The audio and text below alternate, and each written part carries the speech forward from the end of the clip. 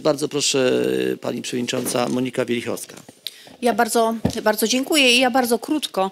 Y, Panie Przewodniczący, drodzy Państwo, Panie Ministrze, dzisiaj y, w Komisji Zdrowia uczestniczą lekarze medycy y, na granicy, przedstawicielka Fundacji Ocalenie i to im musimy dzisiaj oddać głos, bo to oni bo oto oni bezpośrednio wiedzą, co tam się e, dzieją. To oni bezpośrednio współuczestniczą w dramatach, o których my w większości słyszymy tylko z mediów.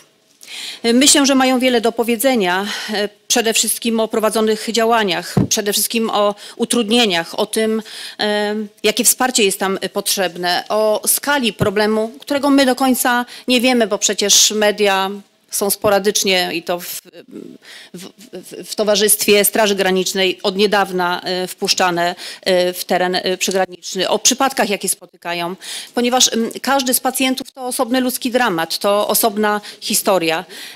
Mówię też w czasie przeszłym, dlatego że medycy na granicy zakończyli swoją misję, misję, którą kontynuuje Medyczny Zespół Ratunkowy Polskiego Centrum Pomocy Międzynarodowej. E, Także bardzo proszę przede wszystkim o oddanie e, głos organizacjom e, pozarządowym i, i lekarzom, którzy są tam bezpośrednio. Dziękuję.